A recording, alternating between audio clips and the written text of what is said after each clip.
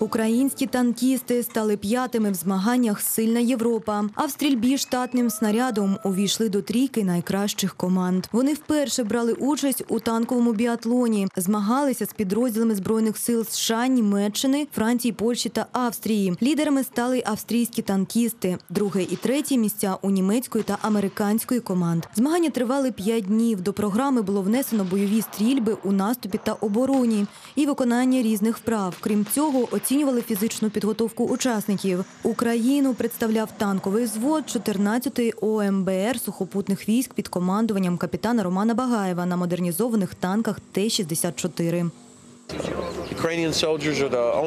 Українські солдати єдині з учасників змагань, хто має реальний справжній бойовий досвід проти ворожих танків. Усі дослухаються до них. Що було дійсно цікаво, це танки, які використовує Україна. Вони дуже маневрені, на відміну від американських абрамсів, німецьких леопардів чи французьких леклерків. Українці високопрофесійні воїни. Вони цікавляться технічним оснащенням інших команд. Досвід українського взводу, який воював проти російських танків, надзвичайно корисний для всіх нас.